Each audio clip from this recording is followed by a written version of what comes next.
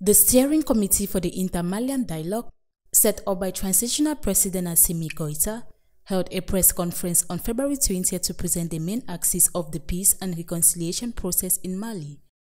The committee, chaired by former Prime Minister Ousmane Issoufi Maïga, highlighted the creation of three working commissions and five key thematic areas for discussion, which is seen as a crucial step in resolving Mali's conflicts.